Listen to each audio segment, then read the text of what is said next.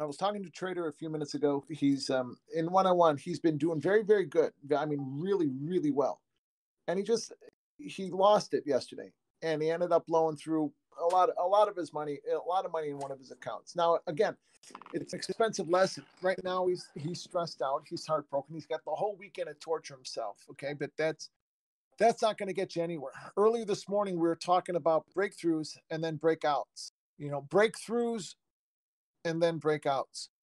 There's a reason why I say what I learned through Mickey and Judd and, and other people through the years is that if you break even your first year, two years, or even three years, break even your first one year, two year, or three years worth of trading, you are so far ahead of the game.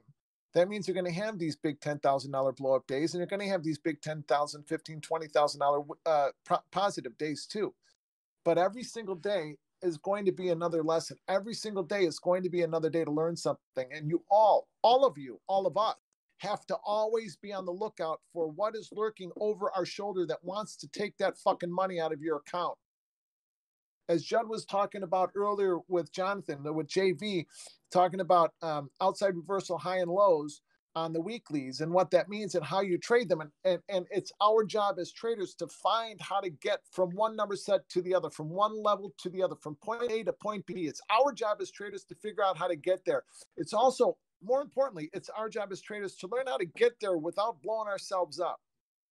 And then we talk about these things all the time in group. We talk about them every single day, all day long in live trade. I tweet about them. Every one of my tweets is about how not to blow ourselves up. You know, I'm not meaning this in any kind of a condescending way because I, you know, the reason I know it so well is because I've done it, is because I've taken two steps forward and four steps back, three steps forward and five steps back a thousand times until 15, 14, 15, 16, 17. In 13 and 14, I had a I had the breakthrough. And then in 15 and 16, I broke out. 18, my life changed. 2018, my life changed again. Why? Because I hung in there and because I was diligent about what lurked behind me. And yes, I make mistakes, but not many. And, and when I do, I get a hold of them. I don't let them blow me up. And if they do, it's manageable. It's manageable. I still don't know if I made money or lost money today. Not, not a huge week. I had a big part of the beginning part of the week. Yesterday I didn't do shit. Today I didn't do anything. I fired myself after a few trades because I I found myself getting aggravated. I found myself thinking and not reacting. And listen, you know, as I wrote this morning, it's our job to be here tomorrow. I want to be here on Monday because maybe Monday is that six figure day for me or a seven figure day for me. I haven't had I haven't had a seven figure day since I've been back, you know, in the second phase of my career. I've had a few six figure days. I haven't had any seven figure days. Maybe Monday's that day that I have a million dollar day again. In order for me to get to Monday, I have to get through today without blowing myself up. And if I recognize early that today is not a day that I'm going to really be pressing, today's not a day that is going to be really, really good, conducive to either my mindset or to my process or to my methodology, then I'm just not going to trade. I'm going to get caught up on other work, which is what I've done. I'm going to do my one on one private mentoring and I'm going to enjoy it because I love, I love, I love helping change traders' lives. I fucking love it. As my wife was talking about again this morning, she hasn't seen me as well-rounded, happy, as happy as I am in years because I'm I'm doing what I love most, trading and teaching. I'm doing what I, I wanted to I wanted to retire when I was 35. Instead, I got divorced when I was 34. I was going to teach when I retired at 35. I had the money. I had the money to never have to work again when I was 35. Well, I mean 34. Instead, I got divorced. So there went my teaching. My teaching is now. I get to teach now and if you guys want to be here till Monday, then I implore you to listen. I implore you to not only take advantage of what we're doing in here. There's two really dangerous tar- times for in in in our careers as traders. Two really dangerous times. One is when we're on a bad run.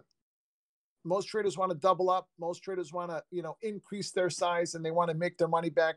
They got to get back the money they lost. That's really dangerous. Another really really dangerous time for all of you, for all of us, is when we start going, we start really, things start to click and we're really starting to make a little money. We're really hitting on all cylinders. That's a very dangerous time because now you start feeling very good about yourself. You start really thinking that that you're all that in a bag of chips if that's a what a stupid saying that is but you know that you really start thinking that you're the next one not you don't think you're the next warren buffett but hey I, i'm really good at this i'm really good at this i am i am i know i'm really good at this. And i also know that if i believe i'm really good at this a little bit too much i'm going to blow myself up and that can happen in a day. I've seen traders go through millions of dollars in a single day and i can do it here. All i have to do is change my you know my unit size from from from 16 24 36 48 to 480 and then double up on that have 860 on.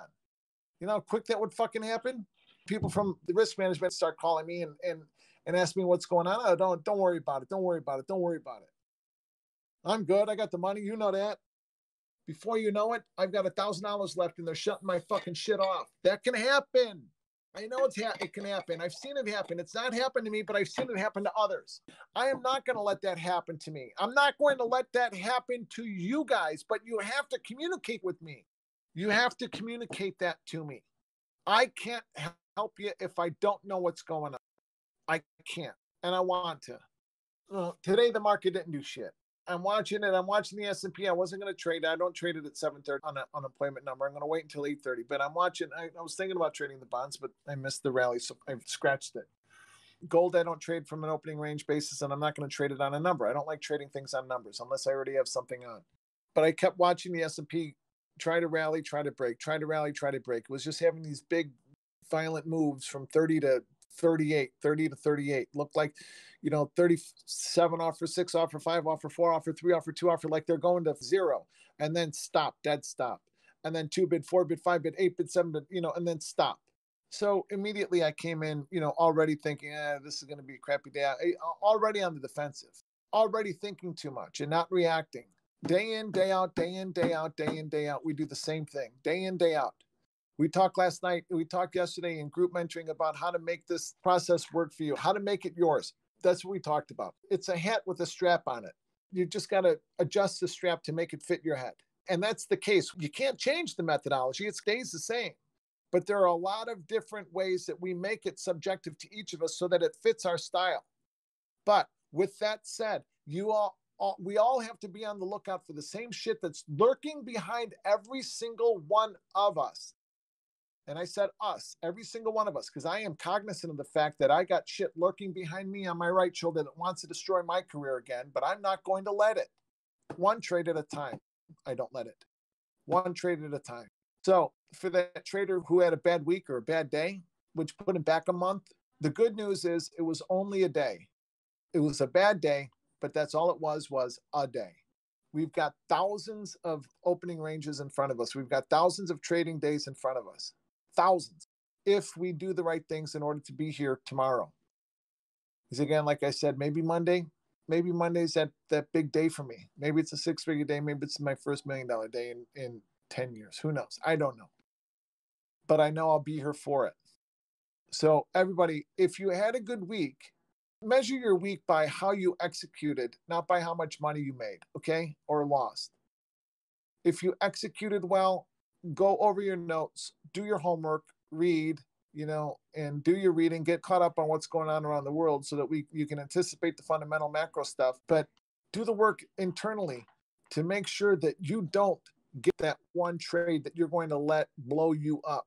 Make sure you don't get that one trade that's going to blow you to bits. Because all of a sudden you're getting your ass kicked. All of a sudden you're giving back months and months and months of work. Please take it easy don't push, don't fight, don't rush. And for God's sakes, reach out to me when things are getting rough. Let me know what's going on so that I can do something and I can help.